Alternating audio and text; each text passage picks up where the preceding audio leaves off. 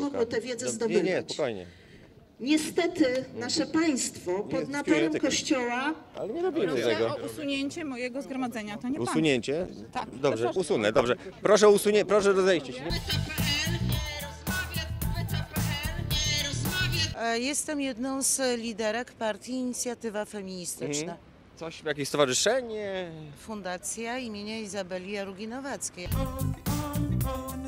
No, wyrażamy nasze poparcie dla życia. Tak, no właśnie rzucają nam czasami, że e, jesteś, zadajemy różne pytania zależnie od tego, z kim rozmawiamy. Ale czy pan dzisiaj e, się dobrze czuje? Bardzo dobrze się czuję dzisiaj. A czy pańscy rodzice byli e, rodzeństwem?